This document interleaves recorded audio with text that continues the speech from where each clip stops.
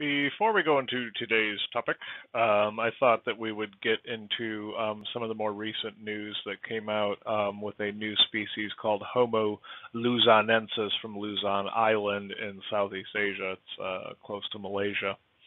Um, it's supposedly a new species. Um, researchers found several teeth and finger bones with lower limbs that they claim look like an Australopithecine and upper limbs that look like a Homo erectus, and it was found uh, alongside stone tools, right? So what we're really seeing here is just a unique morphology um, that occurs on an island context, right? Remember, we've talked about it from the very beginning of the semester, how islands do interesting things to creature speciation.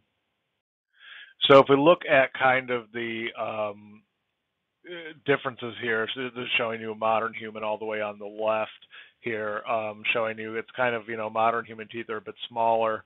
Um, if you look at kind of Homo erectus on the right versus um, Homo luzonensis here on the uh, kind of the middle picture here, it, it, they're basically the same morphological tooth size, right? So this is really just a Homo erectus that has some interesting morphology because it evolved on an island context. So um, chapter 12 and 13 tend to jump around an awful lot because um, primarily with uh, early Homo sapiens and Neanderthals, there's a huge degree of interaction between those two groups, right? We have sites where we know that they were living alongside each other at the same site at the same time. We even have instances where we think that they may have been breeding with um, one another. And we'll talk about the, um, you know, some of those kind of interesting um, studies. Um, so we kind of jump back and forth between talking about Homo sapiens and um, Neanderthals. So if we look at kind of our fossil hominin human family tree here, right? We started out with our Ardipithecus group talking about Ardi, our Orrorin tugenensis, as well as some others. Then we talked about our Australopithecine group talking about um, our kind of robust Australopithecines, which are really um, same thing here. That's what your Paranthropus group is. Um, so these are all essentially incorporated kind of in the same grouping system if you're a lumper.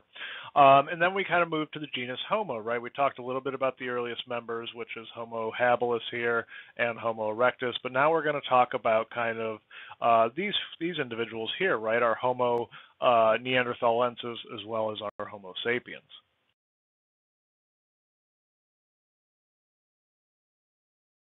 So if we look at the progression of tool types here, the oldest tool type that we have, of course, we've said is the Oldowan tool type. It was first made by Homo habilis and was used for marrow extraction, right? These tools were not used for hunting. These, at this point, Homo habilis was simply a scavenger. So your Acheulean tools uh, are made by Homo erectus. They date um, from about 1.6 to about 90,000 years ago. Um, still used for scavenging at this point, right? These are large, kind of big, clunky um, hand axes that really wouldn't function well on the end of a spear. So at this point, they're still using them for scavenging. So there's really no um, cooperative hunting happening, or at least at the sites that are using exclusively Acheulean tools.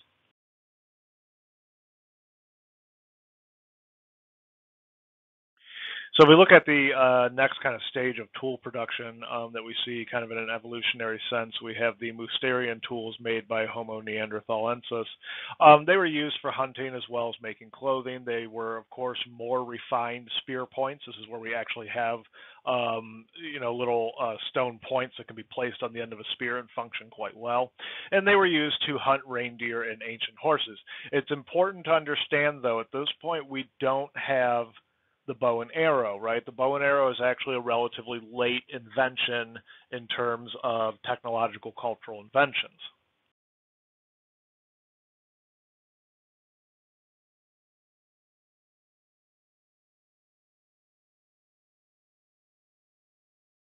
And of course, later on in time, as we get to those upper Paleolithic Homo sapiens, we have the Solutrean um, spear points. These are very, very refined spear points using something that we call the Levallois technique, which you can actually see um, pretty clearly on this point here right in the middle. um, these long channels that are taken out of the surface, right? This is when they're chipping it, they're actually removing very large, long flakes, right? That's what's known as the Levallois technique. We find them in Europe and North America, and it's really with our Solutrean tool system in our modern Homo sapiens that we see the first true um, arrowheads, right? So the kind of important distinction is that we really don't have much evidence that Neanderthals were using the bow and arrow. They may have been using it with uh, bone tools. Um, we're not 100% sure, but it's not until we get to kind of um, Homo sapiens that we see the real first um, arrowheads. So this is just showing you the differences in kind of what we see in Solutrean tools. Um, some of them have no fluting. There's actually a haft on the bottom of the stone point where they can stick it into a uh, wooden spear or a bone uh, arrowhead or arrow shaft or something like that. Um, you also have another technique called fluting where you remove very large kind of channel flakes at the bottom there. Um, and what that does is you do that on both sides until it's nice and paper thin so you can stick it into a wooden shaft. Um, same kind of basic concept works with the um, thinning technique where you just thin the base all the way down. And of course you would affix these once you stick them into the spear or arrow shaft. Um, you would kind of use sinew or some sort of binding or some sort of adhesive agent to um, cemented in the into place. Um, another thing that we find during these uh, with these upper, upper Paleolithic cultures is the use of microblades, right, which are sharpened stone implements that are actually attached to either wood or bone that are used for um, specifically cutting hides. So if we look at kind of one of the hallmarks of what we consider something to be distinctly human, right? Aesthetic or a concept of art, right? We talked about how there might have been evidence of art as early as Homo erectus around 430,000 years ago, but we also have something interesting from 600,000 years ago um, called the Tan Tan sculpture, right? It's not really confirmed. Um, as a matter of fact, microscopic analysis shows that these markings on these on the sculpture are not really um, old and they're not made by humans.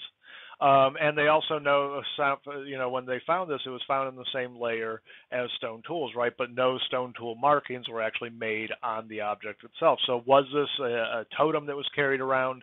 Um, was it just a random piece of rock that was sitting there? We're not 100% sure. We have another sculpture um, that dates around 280,000 years ago called the Berekhat Ram, and it's the kind of first deliberate sculpture that's ever been made. Um, it's made of a volcanic scoria, which is a kind of volcanic rock, and it supposedly resembles a woman, and the lines that you can see featured here around the neck where that thinning is, those are, uh, due to microscopic uh, analysis, we know that those were made by human hands. And uh, to me, this is one of the first kind of real definitive pieces because you can actually tell um, what the artwork is. It was found in the Dordogne region in France, and it dates to around 27,000 years ago. And it's considered to be um, what they would call a fertility statue, kind of holding a ram's horn, which is kind of an ancient sign of fertility, as well as featuring a woman who is pregnant. So as we make this shift, um, and we, I know we haven't really talked about when and where modern humans have kind of, or even archaic Homo sapiens have evolved, um, but what changes really occur between this kind of transition from archaic to modern humans, right? From the first time we arise in the fossil record to how we are today, the general patterns that we see are our postcranial bones become more gracile, so in essence, our uh, skeleton becomes a little thinner. The crania are less robust. The features that are on our skeleton, like our brow ridge, our zygomatic arches, our chins, everything like that becomes less robust. The modern brain size is between 400, uh, 1450 and 1750 cc's, and the average brain size today um, is around 1450 cc's. So we're actually going down in um, brain size a little bit. And I don't want you guys to get the kind of uh, misconception that brain size directly corresponds to intelligence, right? It's not necessarily the size of the brain that matters, but how that brain is organized. So if we line up kind of uh, these South African modern Homo sapiens or these archaic Homo sapiens that, specimens that we have and these Israeli uh, archaic Homo sapiens specimens that we have, we notice that, you know, even though there's a huge degree of geography between those two areas, there's not a whole lot of change going on between these uh, specimens, right? So uh, essentially, what we're saying is that you know modern Homo sapiens or Homo sapiens in general evolved in Africa and spread out very, very quickly.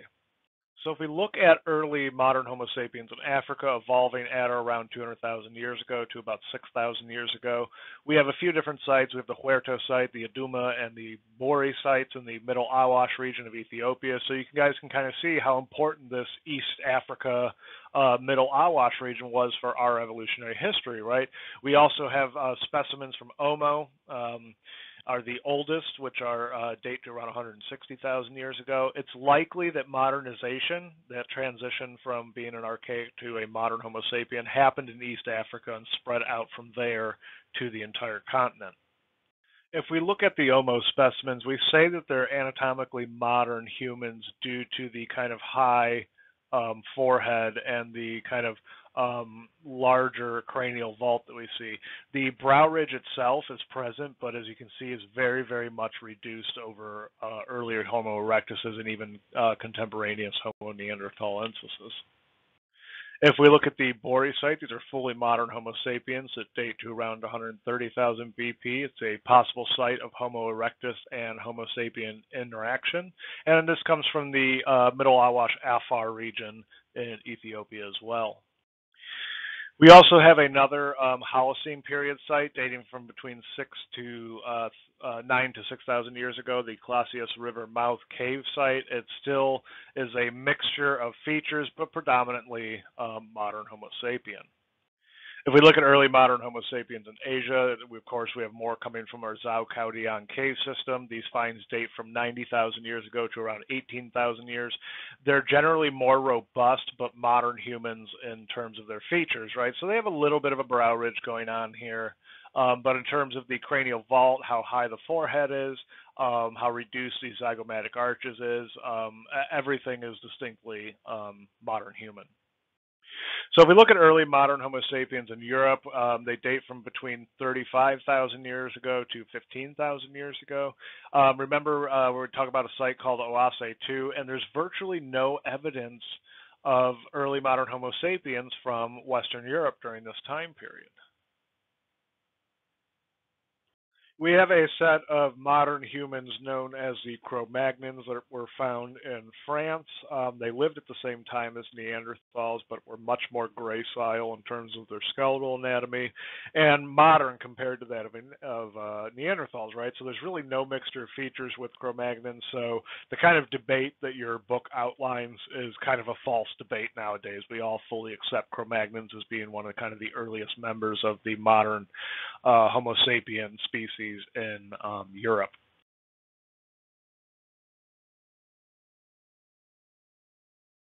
So our Cro-Magnons were the first to be recognized as part of the modern human lineage when they were discovered in 1868, right? So remember, this isn't even that far or that long after Darwin's discovery of evolution via natural selection, right?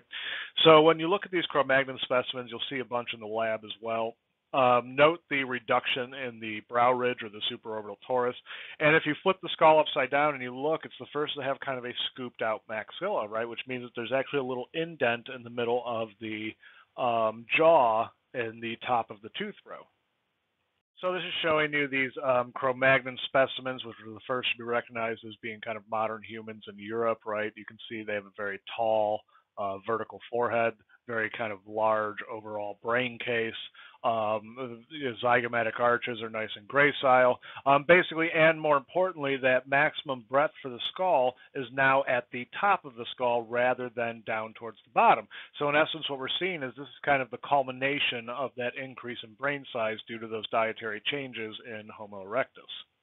So our modern Homo sapiens in um, Europe were not really living at real habitation sites yet. They were living at things called rock shelters, right? And This is a, an example of a rock shelter. In essence, it's kind of an outcropping of rock that provides you with a little bit of shelter that you can kind of sit in and, you know, maybe build a fire or maybe kind of um, uh, kind of it gives you a little bit of protection, but it's not a uh, permanent habitation site.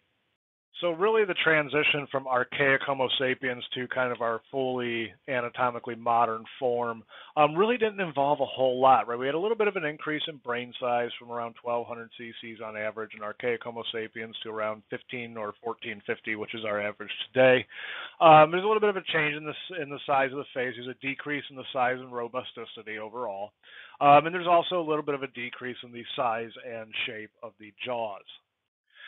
So the question is, is we talked a little bit about the out of Africa versus the multi-regional theory of kind of the development of modern Homo sapiens, right? Well, um, there's overlap between early archaic Homo sapiens and Neanderthals. Um, so multi-regional cannot be correct. It's not like we evolved out of those populations. And the earliest modern Homo sapiens had Neanderthal features. So out of Africa assumes or the out of Africa hypothesis assumes that there's no gene flow between modern Homo sapiens and Neanderthals. So really, each one of these kind of hypotheses or these theories, um, they have a little bit of evidence that back them. You know, the out of Africa has, of course, mitochondrial DNA, and the multi-regional variation um, model would really nicely accommodate for why we see um, anatomical differences in humans in terms of phenotypic expressions. But neither of them are a full and adequate explanation for why modern Homo sapiens evolved. So there's an interesting group that we've seen called the Denisovans that exist, exist in southern Siberia, um, but they have a very interesting uh, genome, right? As a matter of fact, their genome is neither human nor Neanderthal, but we know that they shared a last common ancestor with Neanderthals, and, and morphologically, they're more closely related uh, in terms of morphology to Neanderthals. They lack a chin, they have larger brow ridges, um, but it's kind of interesting. Their unique genome was most likely the result of a vast period of wandering around the world before um, migrating and having a permanent settlement in that Siberian cave.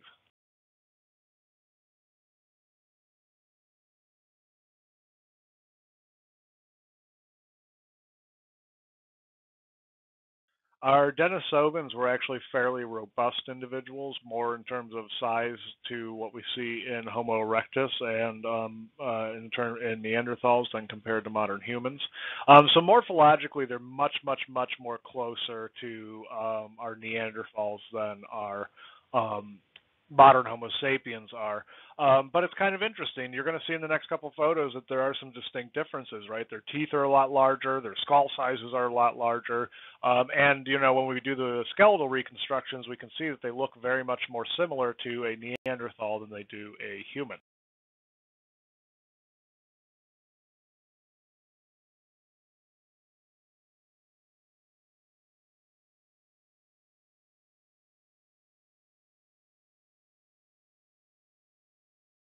So the questions that we'll be kind of considering um, during this presentation is what do Homo sapien fossils reveal about modern human origins?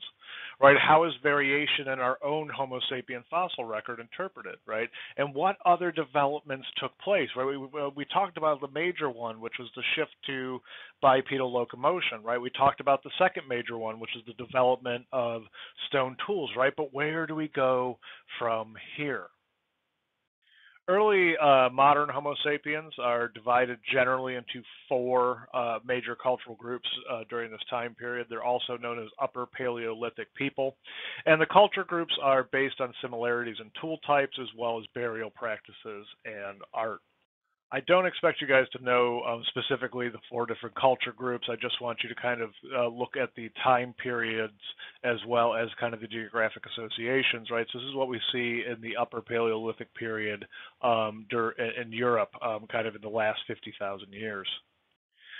So in terms of kind of our upper Paleolithic tools, by the time we get to Homo sapiens, right, whether we're looking at archaic versus modern Homo sapiens, um, we have kind of two different tool types that begin to emerge, right? If we're looking at Homo neanderthalensis, right, these are uh, a tool type that we call Mousterian tools, um, as well as bone tools. If we're looking at our Homo sapiens, they use something we refer to as Solutrean tools. The important thing here is that the tools, whereas they're all made from the same materials that earlier Acheulean and Oldowan tools um, were made from, during this time period, we see no more um, or Oldowan tools. If we look at some of the unanswered questions that we still have regarding our uh, Neanderthals. Um, will more studies of Neanderthal DNA help us identify what is unique about the modern human genome compared to that with our closest relatives? Is there a correlation between climate change and the extinction of Neanderthals, or was competition with modern humans the most important factor? Was the relative contribution or what was relative contribution of animal and plant sources to the average Neanderthal diet? And were Neanderthals routinely symbolic, right, making ornamental or decorative objects burying the dead, or did they just uh, occur in specific populations? If the latter is the case, why did those populations exhibit these behaviors, right? And what was the relationship between Neanderthals and the Denisovans, right? We just don't know. So we'll see as time unfolds. If we look at some of the cranial characteristics of our anatomically modern humans, right, of course, we have the high vertical forehead as well as the round and tall skull, the small supraorbital torus, and small dentition, as well as something called facial neoteny, right? The spacing between the uh, proportions on our face, essentially the spacing between the eyes, the nose, and the mouth, has gotten smaller over time. If we look at the cranial characteristics of archaic Homo sapiens, on the other hand, we have a longer and lower cranial vault, a larger supraorbital torus, less facial neoteny. There's an occipital bun, which is a protruding uh, part of the occipital bone on the back of the skull. There's a smaller chin as well as larger dentition, right? So you can see that there are some differences between archaic versus modern Homo sapiens.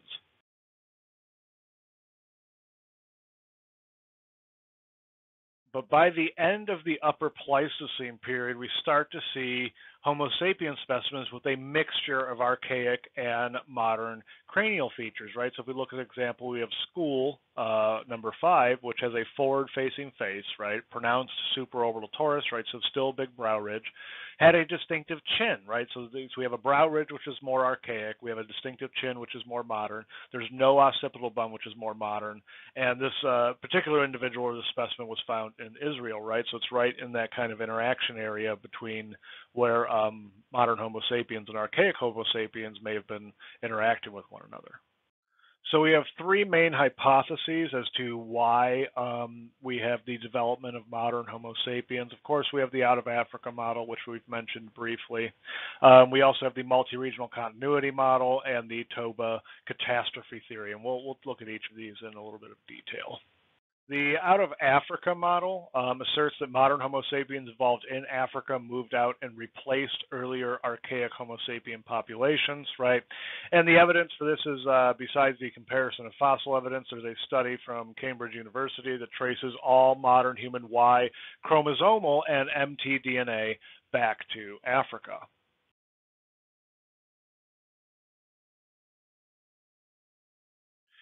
So the out of Africa hypothesis, the kind of uh, problem or kind of issue that we have with it is that mtDNA lineages have a very high rate of turnover in humans, right? Some mtDNA lineages can go extinct in as little as three generations, right? So there may be a whole host of genetic information or DNA information that we can use to trace that may simply not exist anymore.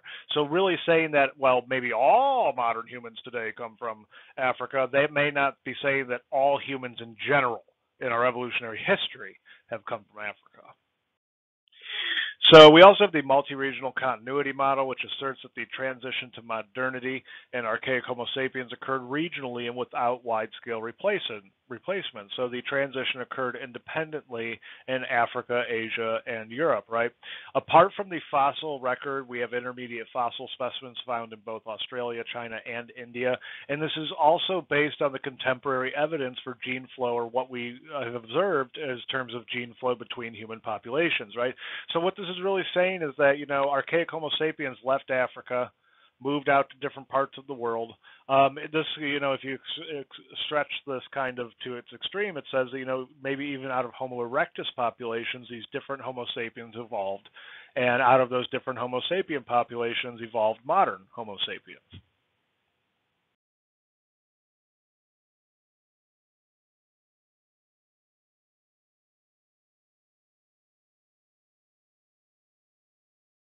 So if we have kind of um, this really good explanatory model called the multi-regional continuity model. Why is um, the out of Africa hypothesis still so popular, right? Well, it's an extremely simple explanation, and the early proponents of our regional model linked it to the existence of races, essentially saying that they could prove the existence of races using this model.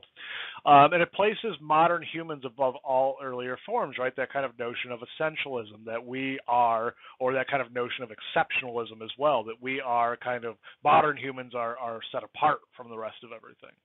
And the multi-regional issues uh, continuity model has issues with continuity, right? Early archaic Homo sapiens and Neanderthals overlap quite extensively, right? So kind of what's part of that multi-regional model is that they evolved out of earlier populations, right? And that overlap or how extensive that overlap was is kind of throws a uh, wrench in that kind of reasoning. We also have the Toba catastrophe theory. Um, I don't really talk a whole lot about it because, well, uh, to be honest, there's there's not really much um, evidence for it. There's actually no evidence for it, um, but you'll find it out there um, in the literature, right? So, uh, in essence, this uh, proposes that a volcanic event that happened at or around 75,000 years ago caused a worldwide volcanic winter to happen, right? And this event causes a bottleneck of archaic Homo sapien populations, out of which came the modern um, Homo sapiens, right? And this is just the same thing as Swansbrau's, um, you know, notion of the Big Bang theory that Homo habilis populations bottlenecked, and out of that came um, Homo erectus and later Homo sapiens unfortunately for the Toba catastrophe theory, um, when we look at kind of the fossil record and surrounding islands, we don't even really have much of a disturbance that we see in um, the kind of animal and um, plant life. So in essence, the whole notion of there being a volcanic winter, eh, it doesn't really hold. There was a very large volcanic eruption. We do know that happened, but in terms of it causing a volcanic winter, uh, most likely it did not. So if we look at our archaic Homo sapiens, right, these are the first to evolve at or around 350,000 years ago. The transition to fully modern or fully anatomically modern Homo sapiens occurred by or was completed by 25,000 BP, right? So if we look at some of our examples here, of course, we have the Bodo skull as well as Kabwe and Herto,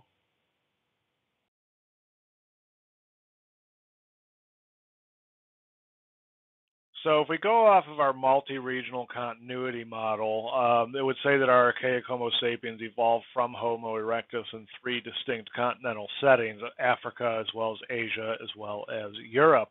And so remember, this kind of fits well because Homo erectus traveled all over the globe, right? So it would make sense that kind of these archaic Homo sapiens may have evolved out of Homo erectuses in these three different settings.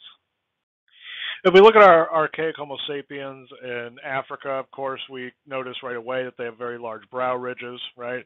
Um, the specimen we're looking at here is called the Kabwe skull that comes from the Kabwe lead mine in Zambia. Um, they have enormous supraorbital toruses. They have smaller muscle attachment sites on the posterior of the skull as compared to Homo erectus, right? So we're seeing a push in that trait more towards um, kind of uh, modern Homo sapiens, right? And they had a larger cranial capacity than Homo erectus at 1300 cc's. If we look at archaic Homo sapiens specimens in Asia, we have the Ngandong site in the island of Java, so of course more specimens from Java. We only really have just a couple of brain cases from this site, but the Ngandong uh, number 11 cranial capacity is around 1100 cc's, right? So definitely larger than that of a um, Homo erectus, right? And the skulls would have had uh, robust features similar to earlier archaic Homo sapiens that we find in those Zhoukoudian cave systems in China as well, right? So they're right along uh, what we would expect for an archaic Homo sapien.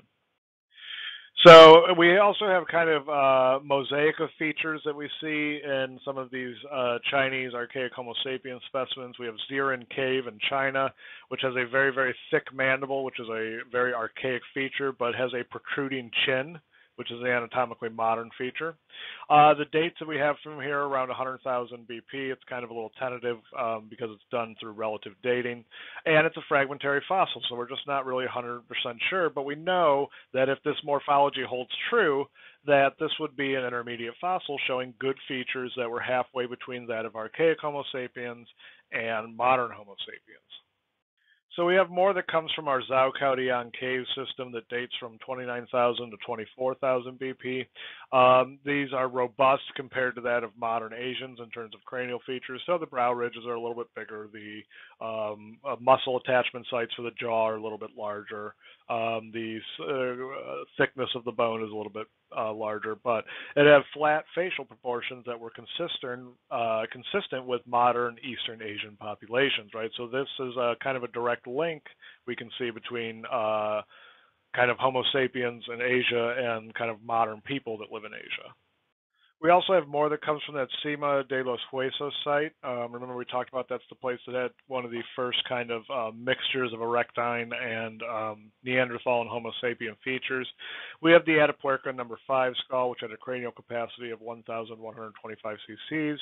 It was the first to display Neanderthal-like facial features, had a very, very large supraorbital torus, and had a larger brain and more rounded skull as compared to Homo erectus, right? So what we're seeing here is kind of that push towards um, the development of Neanderthalensis.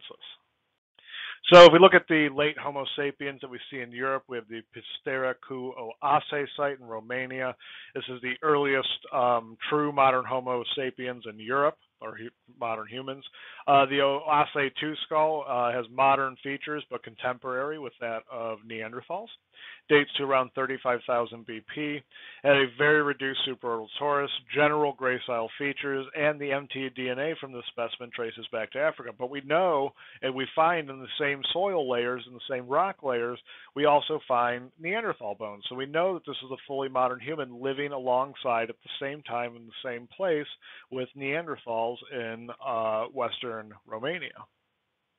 And finally, England has some ancient human Homo sapiens that they can claim as their own, much more than just simply a, a tibia from Boxgrove. We have the Swanscombe site in England, right, which is a gravel pit site, likely an old rock shelter or a cave. The specimens found here had very large, rounded cranial vaults with a cranial capacity of around 1,200 cc's. And the other finds we have um, in Europe at the time, or uh, that we have found in Europe, are um, places in France at the Arago site. We have Steinheim in Germany, as well as Petralona, Greece. As a matter of fact, the um, British were so excited about finding an archaic Homo sapiens specimen in uh, Swanscombe, England, that they erected a large Acheulean hand axe in the uh, kind of uh, local park. The kind of problem is is that the the people those specimens from Swanscombe were archaic Homo sapiens, so they weren't really making Acheulean hand axes. So in terms of the dietary adaptations that kind of began with Homo erectus that have kind of continued onward with Homo sapiens, in general, the face, the jaws, and the teeth, particularly the molars, are very much reduced in Homo sapiens. This reduction may correspond to reduced selective pressure for larger dentition, right? The result, uh, this is a result of a change in diet, right, or in essence, less mastication, right? So remember that evolutionary feedback loop that we had for Homo erectus, right? Better hunting leads to higher protein diets, to larger body mass, which is more effective learning, greater sociability, which leads to better stone tools, right? What we can prove during this time period is that um, dental wear on the front teeth uh, increased in archaic Homo sapiens. Right as we began to do things like make clothing and make uh, bone tools, right, we start to notice that we begin to use our teeth as tools as well. So if we look at one of our specimens, we have that Atapuerca number five, right, which uh, is actually in the textbook listed as a Homo heidelbergensis, but we're going to call it a uh, Homo erectus. Um, uh, we have extreme dental wear on the incisors, right on that first front tooth there. You can kind of see the change in color between where the root, root of the tooth stops and the enamel of the tooth begins, right? So there's a lot of dental wear on those. So it's actually evidence of teeth as tool. So there's a higher reliance during this time period on the anterior dentition for things like uh, weaving, uh, for things like uh, ripping stone or ripping uh, hides apart, um, as well as kind